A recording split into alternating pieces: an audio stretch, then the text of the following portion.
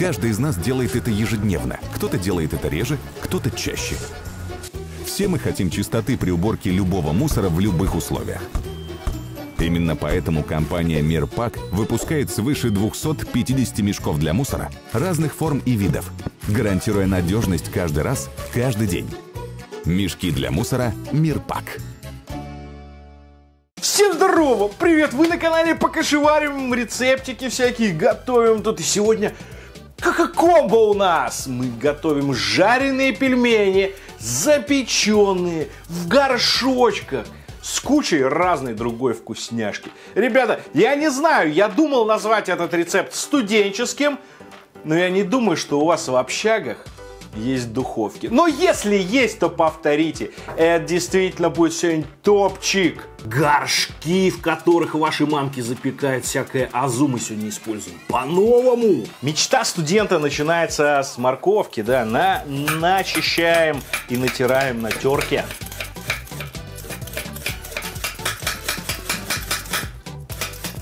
Берем острейшие ножи Самура, отрезаем попки и натираем на крупной терке.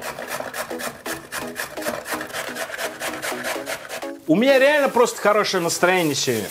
Знаете почему, кстати, в том числе? Потому что, блин, потому что резанные шампиньоны я купил. Вот дожили, прикиньте, не было в магазине обычных шампиков. А я люблю вот это все. Вот взять вот ножичек хороший, порезать. Мне доставляет удовольствие.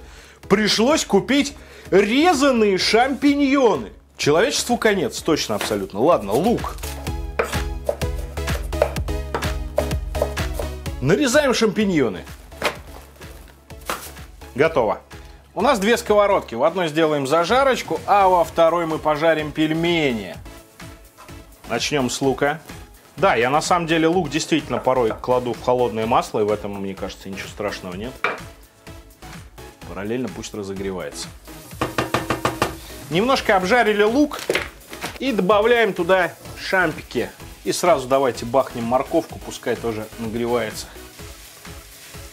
Здесь у нас нагрелось масло, в котором мы приготовим пельмеши. Прямо замороженные, не надо ничего заранее отваривать. Отваривать это для лохов. Вот, я думаю, что нам на два горшочка хватит. Когда они уже начали схватываться, я температуру уменьшаю где-то до середины жара. И они потихонечку-потихонечку у нас обжарятся. Так, давайте начинку посолим, естественно. Все перемешаем, и она, в принципе, готова. У нас грибочки поджарились, морковочка подрумянилась, запахи хорошие. Все, пойдет. Можно какие-то специи добавить, какие вы любите. А я добавлю. У меня это, как всегда, орегано, блин. Ну, отличная травка подходит практически подо все. Все, выключаем плиту. А тем временем наши пельмешки они тоже жарятся, их помешиваем периодически. Жарим до того цвета, как нам будет хорошо. Все, родненькие, поджарились пельмешки. А вот в интернете очень много советов всяких, типа отварите сначала, а потом пожарьте. Нафига? То есть ты вот эту мокрую массу отваренную кладешь в кипящее масло, все это забрызгивается. Зачем это надо? Вот они, жареные, отличные пельмешки. Формируем теперь горшочки и запекаем, ребята, муа, просто люкс, люкс рецепт. Давайте наполнять горшочки. Это все будет слоями, соответственно, нам надо чередовать, чередовать нашу зажарочку с пельменями. Изумительно.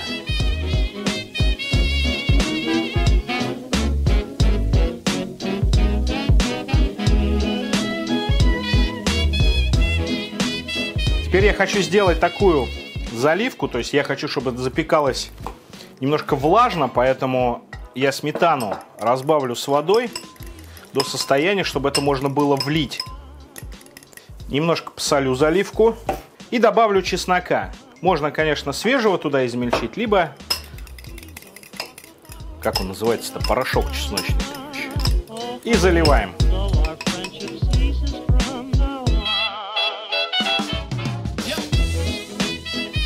Конечно, какое запекание в горшочках без сыра, алло. сверху натираем сыра. У меня гауда, кстати. Так, оп.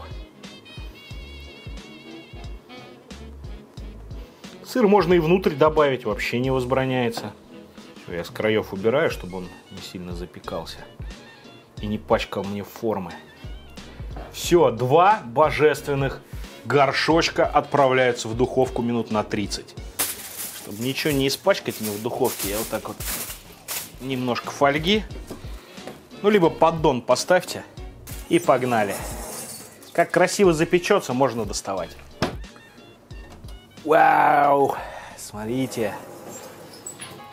Вот оно, прекрасие пельменное. Так, где моя вторая перчатка? Зашибись.